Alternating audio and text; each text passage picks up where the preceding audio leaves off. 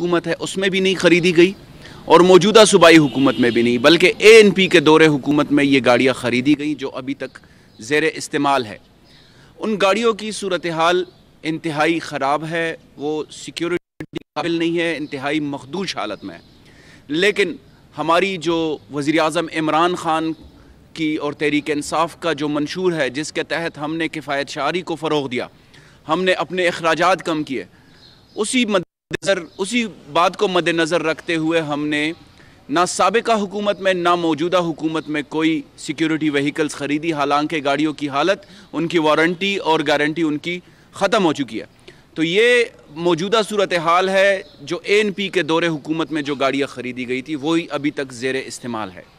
दूसरी बात, जो इस समरी की बात हो रही है तो ये एक प्रपोज़ल आई थी कि गाड़ियों की सूरत हाल इंतहाई ख़राब है, सिक्योरिटी के काबिल नहीं है, उनके शीशे टूटे हुए हैं, और वो चलने फिरने के काबिल नहीं है।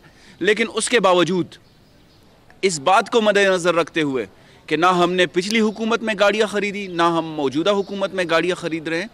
बजट की सूरत हाल को भी मद्देनज़र रखते हुए, और जो हमारी किफ़ायत शारी का एजेंडा है, जो ऑस्टेरिटी मेजर्स हैं वज़ी अजम इमरान ख़ान के विजन के तहत। उसको मद्देनज़र रखते हुए हमने ये समरी मंजूर नहीं की, ये फ़ाइल हो चुकी है, ये वज़ी अला के टेबल तक भी नहीं पहुँच चुकी।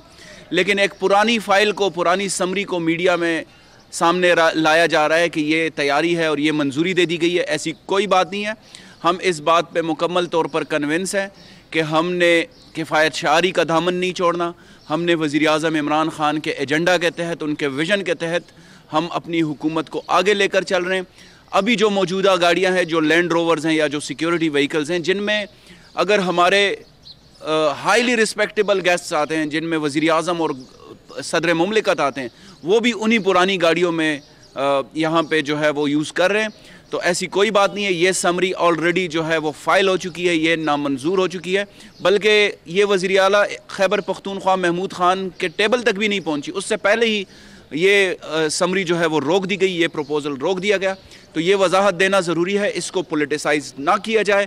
खैबर पख्तूनख्वा हुकूमत कमिटेड है कि हमने हर सूरत किफ़ायत शारी का दामन नहीं छोड़ना। हमने इमरान ख़ान के विजन के तहत अपने अखराज में कई गुना कमी हम लेकर आए, और हम मज़ीद भी इसी एजेंडे पर कायम हैं। आप सबका बहुत शुक्रिया।